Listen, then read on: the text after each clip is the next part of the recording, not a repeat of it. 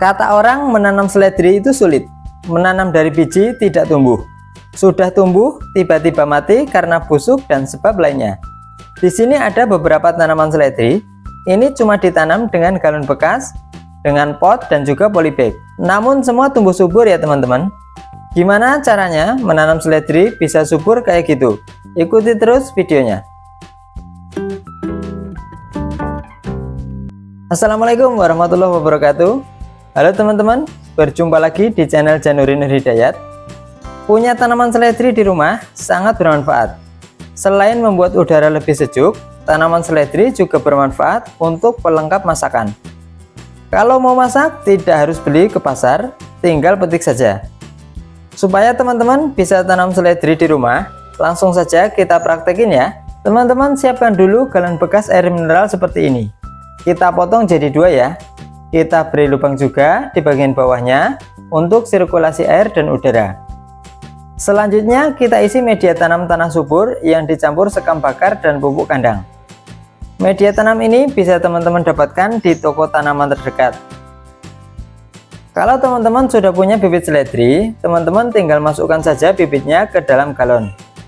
Namun jika belum maka teman-teman harus menyemai dulu seledri dari biji teman-teman bisa pakai benih seribuan seperti ini. Untuk penyemaian seledri bisa disemai memakai rock wool atau disemai memakai pot kecil.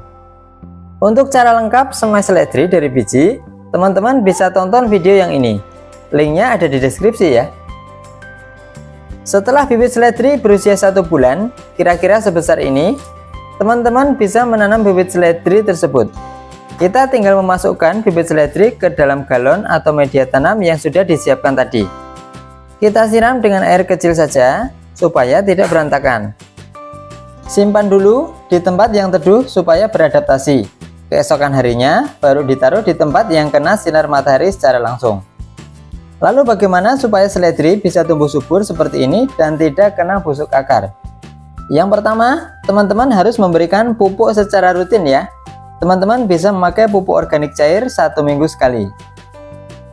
Yang kedua, teman-teman bisa melakukan penyiraman air secukupnya setiap hari. Karena di sini cuacanya panas, maka saya melakukan penyiraman setiap pagi. Teman-teman juga harus meletakkan tanaman seledri di tempat yang terkena sinar matahari langsung. Semakin lama, semakin bagus. Untuk pencegahan hama dan penyakit, teman-teman harus menjaga kebersihan lingkungan sekitar tanaman. Jika perlu, teman-teman bisa menyemprotkan pestisida nabati yang bisa teman-teman buat sendiri. Kalau sudah begini, tidak perlu repot ke pasar lagi buat beli seledri. Tinggal petik saja kalau mau masak.